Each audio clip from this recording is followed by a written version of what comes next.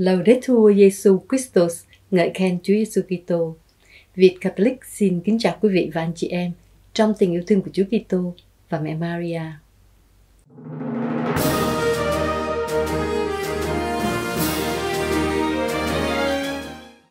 Xin chào Sơ Thùy Linh, chào Mai Hương.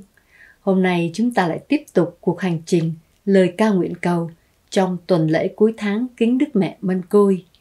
Chúng ta đã cùng với Đức Mẹ theo Chúa Giêsu trong cuộc sống cứu rỗi nhân loại của người, được tóm lược qua chàng hạt mân côi với bốn mùa, mùa vui, thương, mừng và sáng. Cẩm Yến cảm nhận được những ơn ích mà chương trình lời ca nguyện cầu đã đem lại cho gia đình của Cẩm Yến và cũng có rất nhiều khán thính giả của chương trình đã và đang theo dõi trên màn hình của trang web Việt Catholic. Tạ ơn Chúa và mẹ Maria cùng mọi người vì lợi ích phần hồn của mọi kỳ tơ hữu và làm sáng danh Thiên Chúa. Sơ mong ước quý khán thính giả thân thương của chúng ta tiếp tục theo dõi chương trình lời ca nguyện cầu này hàng tuần, cùng chia sẻ cho nhau biết về chương trình và nhất là làm cho mọi người từ em bé đến cụ già đều yêu mến những bài hát thánh ca của chương trình. Vâng, đúng như thế, vì vô tri thì bất mộ. Những tiếng hát của các ca sĩ với cả tâm hồn cùng tấm lòng mến yêu Chúa và Đức Mẹ sẽ giúp cho mọi người hiểu biết và mến yêu mẹ Maria cũng như kính thờ Thiên Chúa tốt lành hơn. Kính thưa quý vị, chàng chuỗi mân côi được mọi người yêu quý vì những hồng ân của Thiên Chúa ban cho chúng ta, qua đó như ơn hoán cải tâm hồn, đem lại bình an và hạnh phúc cho cuộc sống, gia đình và xã hội. Có những chuyện vui nho nhỏ về chuỗi mân côi như nhiều cụ già đã áp dụng việc lần chuỗi mân côi và các sinh hoạt trong cuộc sống hàng ngày. Thí dụ như để đo lường khoảng cách, các cụ thường hỏi nhau Thế từ nhà chị đi bộ đến nhà thờ thì hết bao nhiêu phút? Em tính, theo việc lần chuỗi mân côi, thì em đọc được vừa hết 50 kinh là đến sân nhà thờ. Vâng, câu chuyện thật đơn sơ dễ thương nhưng cũng thật sâu sắc. Khi chuỗi mân côi đã đi sâu vào cuộc sống bình dân của chúng ta đến thế thì mẹ thực sự đã ở sâu trong trái tim của chúng ta và đồng hành cùng chúng ta mỗi ngày. Siêng năng lần hạt mân côi đem lại nhiều ơn ích cho chính người đọc kinh và cho mọi người. Khi họ khỏe mạnh, cũng như lúc ốm đau, khi còn sống hay đã qua đời. Mai hương, cẩm yến và quý vị có biết tại sao không? Vì chính chúa giêsu đã căn dặn chúng ta phải luôn tỉnh thức và cầu nguyện, nhất là cầu nguyện bằng chuỗi măn côi, là một trong những phương cách hữu hiệu và đơn giản nhất để giúp chúng ta luôn tỉnh thức. Tỉnh thức thực sự cần thiết để giúp chúng ta có ý thức và sức mạnh chống lại những cám dỗ luôn bùa vây quanh ta. Thánh phaolô trong thư gửi các tín hữu thành epheso đã dặn dò, anh em, hãy tìm sức mạnh trong chúa và trong uy lực toàn năng của người hãy mang toàn bộ binh giáp vũ khí của thiên chúa để có thể đứng vững trước những mưu trước của ma quỷ. Như những người chiến sĩ cần được trang bị những thứ như lương thực, áo giáp, súng, đạn dược. Chúng ta cần được trang bị bởi lương thực là thánh thể, áo giáp là lời chúa, súng là những việc hy sinh hàng ngày. Và đạn dược là lời cầu nguyện của chúng ta và mọi người. Kim mân côi chính là đạn dược tối tân nhất để chống lại những mưu trước của ma quỷ và tiêu diệt tội lỗi. Trong quá khứ, phần lớn chúng ta là người vượt biển tị nạn bằng thuyền. Cho dù thuyền có chạy bằng máy còn mới nhưng số dầu chưa đưa được lên thuyền đầy đủ thì tổ chức đã bị lộ và tiếng súng của công an đã nổ rền khắp bờ biển. Người chủ thuyền sợ bị bắt nên họ đành phải nổ máy cho thuyền ra khơi. Nhưng vì số dầu trên thuyền không đủ cho chuyến hải hành, thì làm sao chiếc thuyền ấy có thể đến được bến bờ tự do? Cũng như thế, người chiến sĩ công giáo nếu không có lòng mến, không có ơn Chúa và nhất là không có sự ăn chay hãm mình và sự cầu nguyện của bản thân và mọi người hàng ngày thì họ biết lấy gì để chiến đấu với tội lỗi trong suốt cuộc đời của mình. Lời cầu nguyện bằng kinh mân côi sẽ tạo thành một sợi dây tình yêu để nối kết chúng ta vào tình Chúa mến thương như hương thơm tỏa ngát tòa Chúa cao sang. Với tâm tình ấy, Cẩm Yến xin kính mời quý khán thính giả cùng thưởng thức bài Chàng hạt mân côi, lời của Linh Mục Trần Công Nghị, nhạc của Linh Mục Đỗ Bá Công, qua tiếng hát của ca sĩ Thanh Lan với phần múa phụ họa của các em thiếu nhi đoàn thanh thiếu nhi Salesian, giáo xứ St. Margaret Mary's, Brunswick, Australia.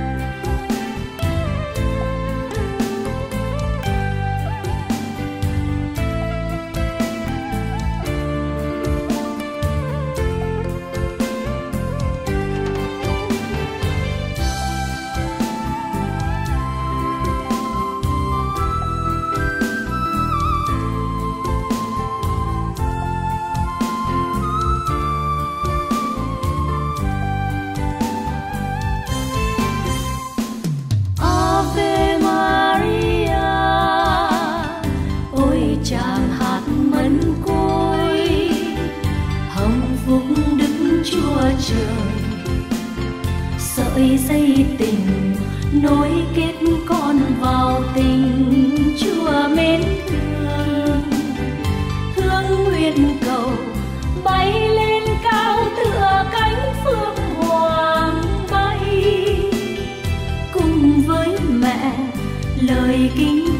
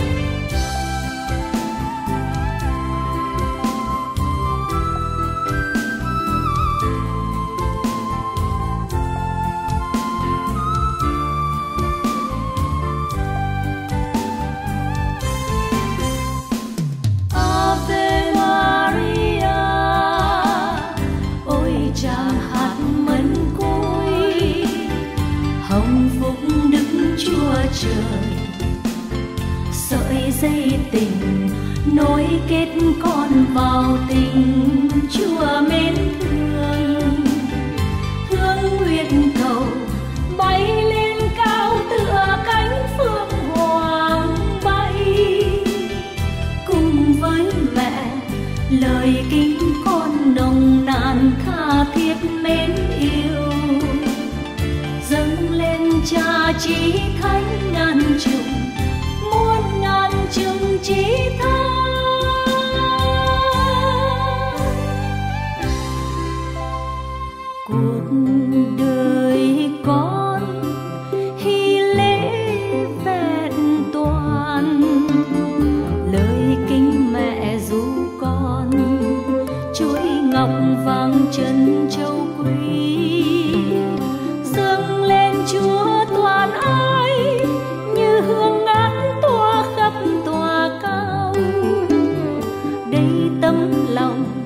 bé mọn con dưng một mình trôi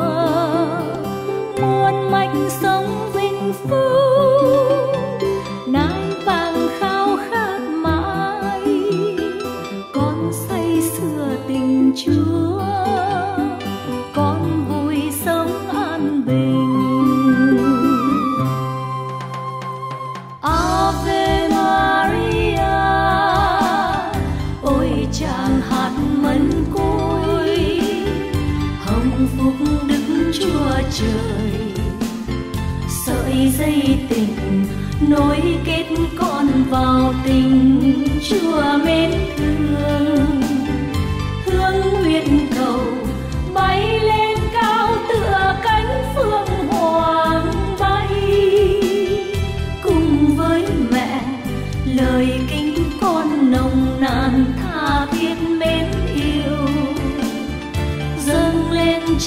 chí thánh ngàn trùng muôn ngàn trùng chí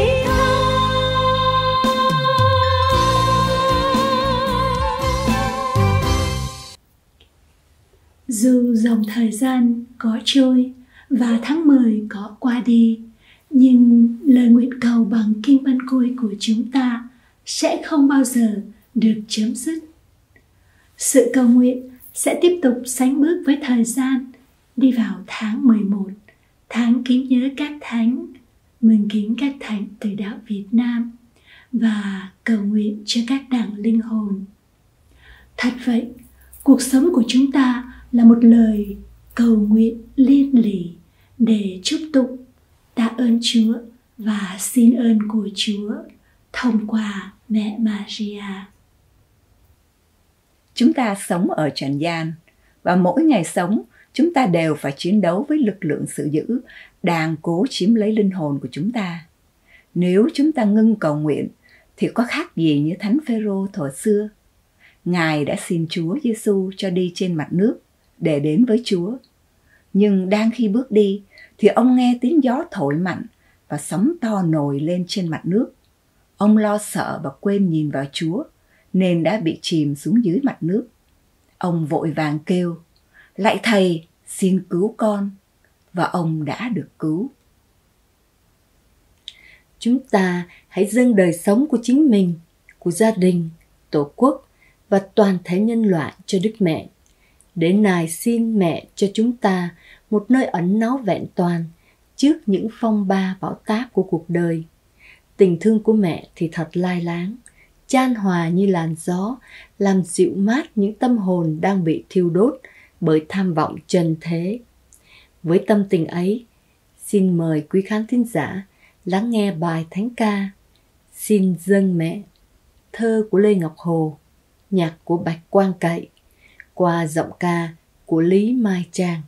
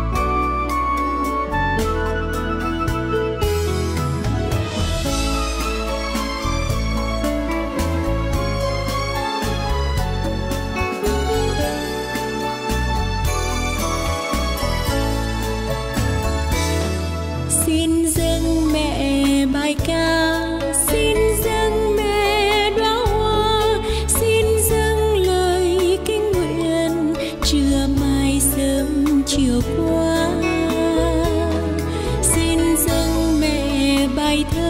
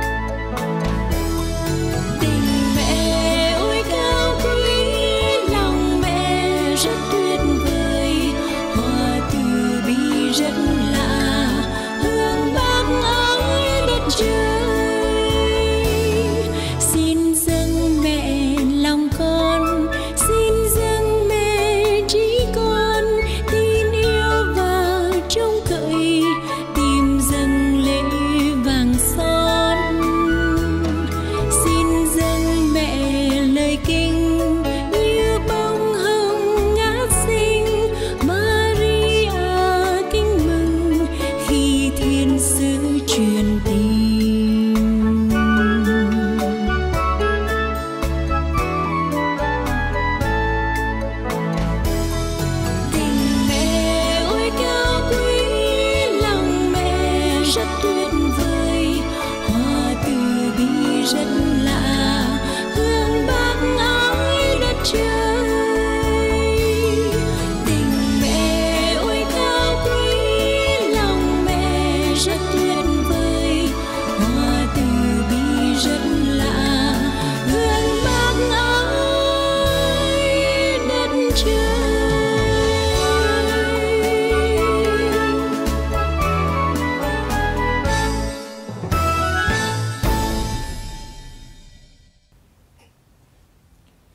Lạy Chúa, chúng con tạ ơn Chúa vì Người đã ban Đức Mẹ cho chúng con, đấng làm trung gian cho chúng con trước tòa Chúa.